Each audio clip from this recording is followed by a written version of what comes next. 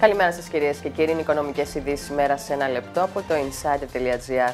Μπορεί η ρύθμιση των 120 δόσεων προς τα ασφαλιστικά ταμεία να έχει κλειδώσει, αλλά δεν ισχύει το ίδιο για τη ρύθμιση των 120 δόσεων προς την εφορία, για την οποία οι θεσμοί εκφράζουν μεγάλες επιφυλάξεις.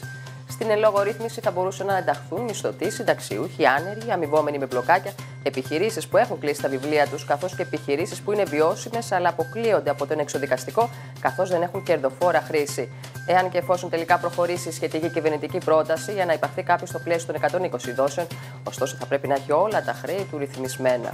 Έχοντας καταγράψει ρεκόρ επενδύσεων το 2018, οι θεσμικοί επενδυτές της αγοράς ακινήτων ετοιμάζονται για ένα δυνατό 2019, όπου θα κυριαρχήσει ο ανταγωνισμός και δεν αποκλείεται να καταγραφούν ακόμη και πόλεμοι τιμών για τα καλύτερα κίνητα που θα βγουν προς πώληση. Και αυτό γιατί ενώ τα κεφάλαια και οι εταιρείες που στοχεύουν σε επενδύσεις στο real estate αυξάνονται, οι εταιρείες ανάπτυξης ακινήτων παραμένουν ελάχιστες. Έχοντας σημαντικά ανοίγματα από την περίοδο της ραγδαίας ανάπτυξης, πολλοί κατασκευαστές δεν κατάφεραν τελικά να αντέξουν τη σφοδρή κρίση του 2009 που χτύπησε κυρίως τον κλάδο των ακινήτων. Μπορεί το eBay να είναι παγκοσμίως γνωστό για δημοπρασίες βινιλίων ή τεχνολογικών προϊόντων, ωστόσο η περίφημη πλατφόρμα δημοπρασιών διαθέτει και κατηγορία πώλησης ακινήτων.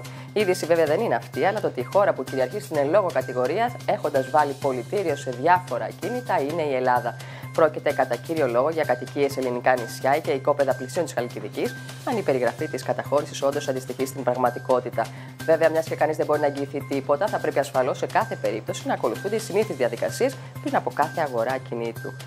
Πτωτικά κινείται η χρηματιστηριακή αγορά στο σημερινό άνοιγμα της συνεδρίασης με τον γενικό δείκτη μόνα κειμένης σε 616,87 μονάδες, καταγράφοντας απόλυε 0,01%.